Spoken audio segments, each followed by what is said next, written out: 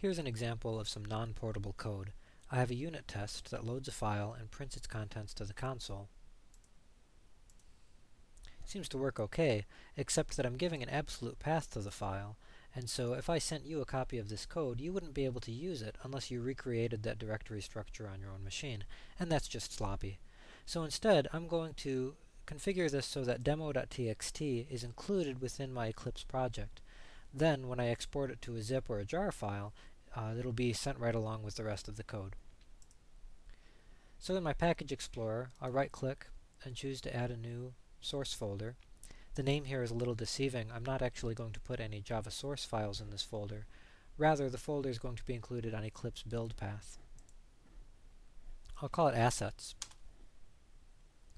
And with a little copy and paste, I now have demo.txt within my Assets folder. This is a copy that's unrelated to the original. I could edit this to my heart's content, but in fact, I'm pretty content, so I'll leave that the way it is. Now, I need to change the way that this is accessed, so I'll get rid of my reference to a file input stream. And instead, I'm going to use what I call the class loader trick. It looks like this.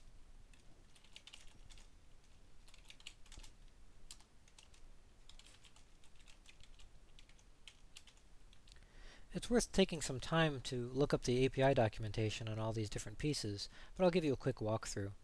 Thread.currentThread gives us the current thread of execution. GetContextClassLoader loads the class loader from that thread.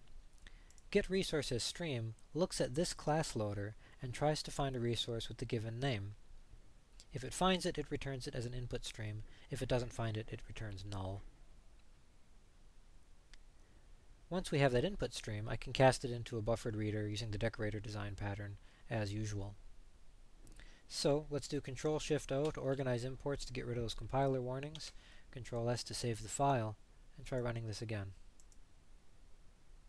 Seems to work.